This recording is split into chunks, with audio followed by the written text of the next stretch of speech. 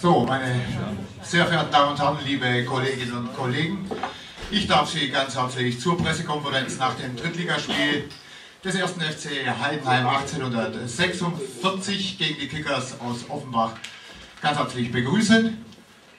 Besonderer Gruß geht natürlich unserem Gästetrainer, wie es sich gehört, Herrn Wolfgang Wolf. Herzlich willkommen in Heidenheim, schön, dass Sie da, da sind. Und unser Trainer Frank Schmidt. Danke, ein leiser Applaus. Herr Wolf, wie haben Sie diese 90 doch sehr intensiven Minuten gesehen? Ja, sprechen Sie doch weiter, da sind Sie auf einem guten Weg. Ich denke, das war hier in der Tat ein intensives Spiel von der ersten Minute an. Beide Mannschaften wollten gewinnen. Wenn ich sehe, in der ersten Minute können wir 1 zu 0 Führung gehen und im Gegenzug können es 1 einstehen. So hat die erste Halbzeit begonnen und so hat es auch aufgehört. Sie war abwechslungsreich, sie war aufregend, es war alles dabei. Abseitstore über wie drüben. Gut, ich habe gehört, das eine von Heidenheim wäre kein Abseitstor gewesen. Ja, auf der anderen Seite muss ich sagen, können Sie froh sein, dass Sie keine rote Karte bekommen haben. Ja, das war auch ganz klar eine Tätigkeit. Ja, und so gehen wir in die Kabine rein.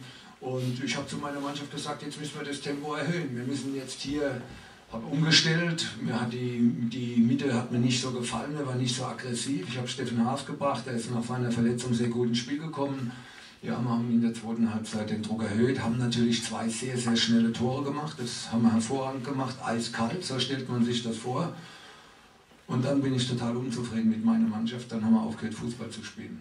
Wir haben nur noch reagiert und haben das, die Konter schlecht ausgespielt und haben eigentlich Heidenheim ins Spiel kommen lassen. Und ich möchte nicht wissen, was hier los ist, wenn der Pfostenschuss nochmal reingeht. Dann kommen wir nochmal gehörig ins Wackeln.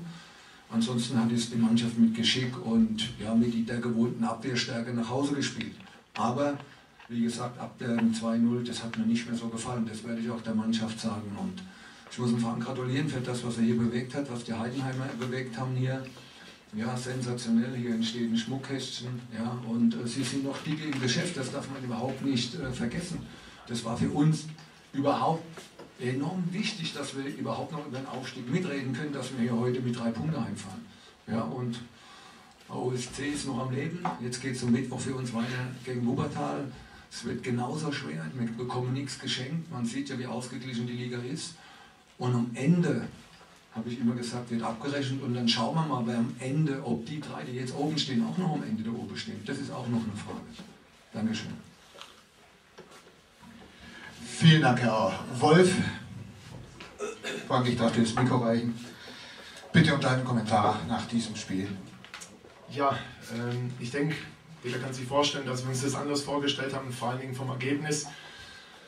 Ich denke, ähm, zur ersten Halbzeit gibt es nicht viel dazu zu sagen. Äh, es war ein intensives Spiel, es ging hin und her, Chancen auf beiden Seiten. Ähm, die erste Chance für Offenbach war vielleicht gleich ein Hallo wach und wir haben die Riesenchance durch den Alba Bakceci, der fast allein aufs Tor zuläuft, äh, dann selber in Führung zu gehen.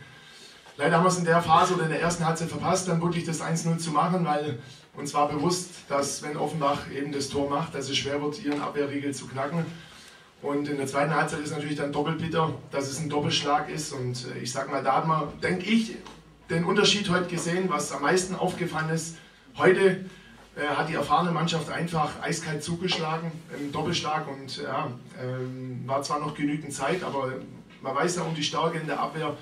Das habe ich äh, vor dem Spiel nicht so breit getreten, damit meine Spieler das zum Schluss nicht noch glauben, sondern wollte ihnen einfach auch das Gefühl geben, wir können hier zu Hause, nach dem, äh, wo wir schon Braunschweig, äh, gegen Braunschweig schon kein Tor geschossen haben, äh, auch gegen Offenbach treffen. Ja, und ich sehe es genauso. Hätten wir die Chance genutzt, vom, oder beziehungsweise wäre der Ball reingegangen vom Marc Schnatterer, kennen wir ja im Fußball 2-1, dann wird es hier nochmal richtig laut und richtig turbulent. Aber auch eine andere Szene, wo mich ein bisschen ärgert, wo der Basti Heidenfelder die Chance hat, 2 ähm, gegen 1 äh, vielleicht den, den Anschlusstreffer zu machen, wo er dahin läuft, wo der Patti Meier schon steht und somit war es dann keine Überzahlsituation mehr. Kann man besser ausspielen, aber äh, trotzdem, und das möchte ich an der Stelle wirklich äh, eindringlich sagen und auch bewusst, äh, wir können nicht von Rückschlag sprechen, sondern wir haben unser Ziel erreicht. Die Mannschaft äh, spielt seit Wochen und Monaten am Limit, immer mit dem vollsten Einsatz und ich bin halt mit der Leistung, dem Einsatz auch einverstanden, viel mehr wie im Spiel gegen Braunschweig, ja, wo wir uns nicht so gewehrt haben.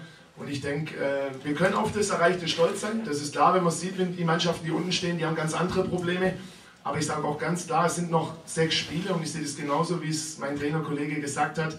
Äh, am Schluss wird abgerechnet. Edgar Schmidt hat mal gesagt, am Ende kackt die Ende. Ja, und es ist eben so, ja, es ist noch alles möglich und wir werden alles probieren, wirklich im nächsten Spiel schon wieder äh, anzugreifen und vielleicht gegen Ingolstadt, die mit Sicherheit richtig unter Druck stehen am, am Mittwoch, ja, äh, was Zählbares mitzubringen. Und da gilt es jetzt, die paar Tage zu nutzen, um vor allem den Kopf frei zu kriegen und wieder an die eigene Stärke zu glauben. Und wenn das, das gelingt, dann kann ich nur äh, das Gleiche sagen, dass am Schluss vielleicht noch alles möglich ist. Wir werden ja, bis zum Schluss auch wirklich darum kämpfen, nach vorne, äh, da vorne dabei zu bleiben und dann schauen wir mal, was passiert. Danke.